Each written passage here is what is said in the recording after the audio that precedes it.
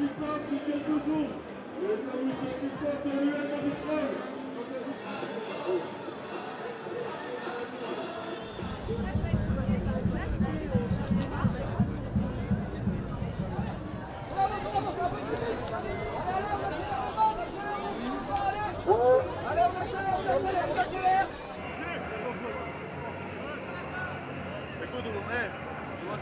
Je pense que la rhétorique du gouvernement elle a changé. Euh, On est passé d'une euh, réforme de justice sociale et de progrès social à une réforme indispensable, sinon c'est la faillite de je ne sais quoi. Euh, D'ailleurs avec des arguments euh, euh, qui sont euh, faux et, excessifs. Quand j'entends des députés de la majorité dire que le déficit atteindrait euh, 300 milliards, je ne sais pas où ils ont lu ça. hein. Euh, donc euh, oui, le, gouvernement est, est- acculé, euh, il est en manque d'arguments, il essaye de faire peur.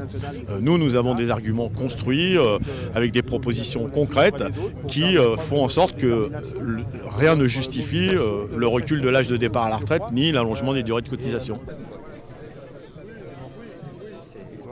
Il essaye de tenir bon, mais euh, sauf s'il est devenu vraiment totalement euh, euh, autoritaire.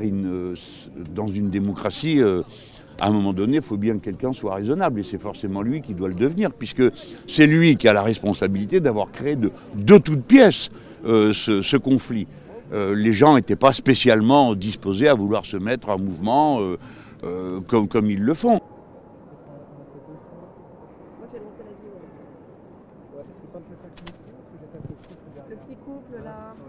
Je suis d'accord avec les revendications des gens qui vont dans la rue. La semaine dernière, j'y étais et cette semaine, je ne peux pas changer mon planning de boulot, donc je- j'y suis pas, mais je suis solidaire.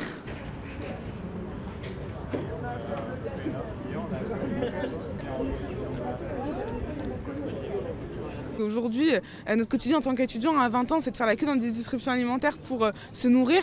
Euh, et ce qu'on ne veut absolument pas, c'est à 67 ans, rebelote continue à faire la queue dans des banques alimentaires pour pouvoir manger à la fin du mois.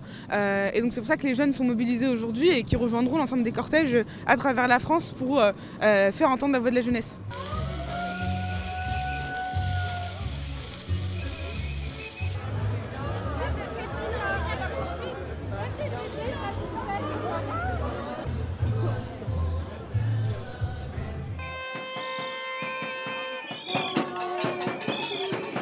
ハハハハ!